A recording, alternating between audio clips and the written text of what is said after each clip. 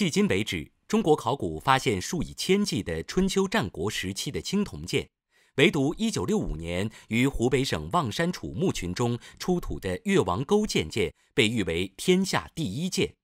作为湖北省博物馆的镇馆之宝，越王勾践剑被陈展于独立展厅中，其历经两千四百多年岁月洗礼，依然光彩耀目，享誉海内外。王者之剑越王勾践剑是如何被发现的？越王勾践剑有何特点？何以飞升中外？中新社东西问近日专访湖北省文物考古研究所原所长、越王勾践剑主要考古发掘者之一陈振玉。在五十八年前，我有幸参加了越王勾践剑这个墓的主要发掘者之一，而且亲手把越王勾践剑拿出来的。一九六五年的十一月，我们开始对这个墓进行了。发掘工作，那么这个剑是十二月二十五号发现的。这个墓葬有很多奇特的东西。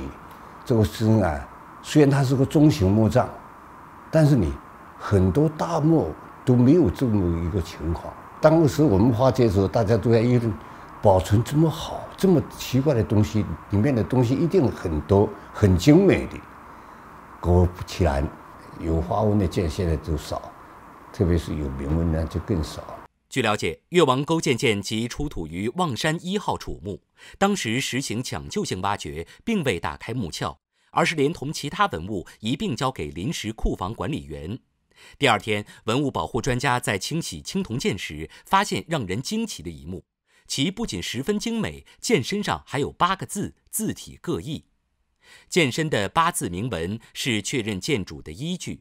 其出土后，经过多位著名历史学家、考古学家、古文字学家对铭文的试读，最终确定了这把剑的主人。剑身铭文的字体为鸟虫书。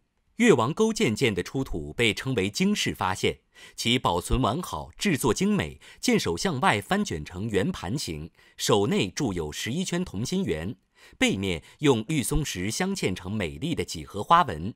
整个剑身的两面均满是黑色菱形花纹，刃薄而锋利。中国在两千多年前，这个剑这么保存完好，这个寒光逼人，而且啊，这个表反映了中国当时的这个冶金技术达到很高的水平。越王勾践剑充分反映了中国古代铸剑工匠的高超技术。一九七七年，其被送至上海复旦大学进行无损伤测定研究。科学家发现，剑刃及剑身成分表明含锡为百分之十六至百分之十七，这是铸造锡青铜剑强度最高的部分，并保持有一定的延伸率。它的合金成分是最好的、最高的，而且它的花纹是非常优美的，它是非常锋利的。当年我发破了三十七张纸，是吧？这个所以啊。实至名归，它作为一个天下第一剑。时至今日，已知有勾践铭文的遗物极少。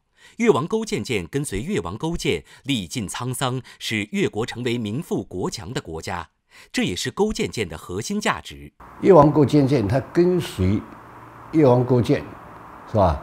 这个历尽这个沧桑啊，奋发图强，把使越国。成为一个民富国强的国家，这就对于我们来讲，这就是他剑的剑魂。越王勾践剑曾随中国其他文物一起出国展览，赴日本、墨西哥和新加坡展出过三次。每次展览，它都被放在展厅显著的位置，在单独的展柜中展出，受到参观者的高度赞誉。越王勾践剑曾经啊，呃，为了跟随这个。出国展览，呃，到海外去了三次，那么就是啊，为了这个文物里面的传友谊啊，这个发挥了很大的作用。